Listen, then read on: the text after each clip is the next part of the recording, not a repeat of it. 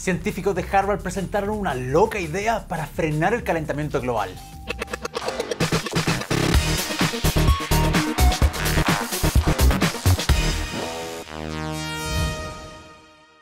Aunque Donald Trump lo niegue, el calentamiento global es un problema y estamos en una carrera en contra para detenerlo al menos hay gente más cuerda que el presidente, como un grupo de científicos de la Universidad de Harvard, quienes pretenden lanzar un experimento en 2019 como un escudo de partículas que puede proteger la atmósfera. Y así la radiación solar rebota nuevamente hacia el espacio. Suena loco, pero tiene sentido. Es como polarizar el vidrio de un automóvil.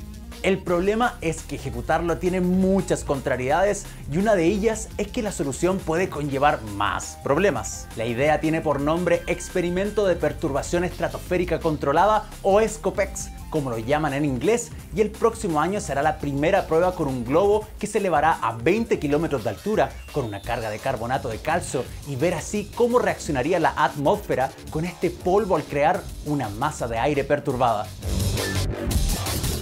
Entérate de otras noticias de tecnología, innovación y más en omageek.net.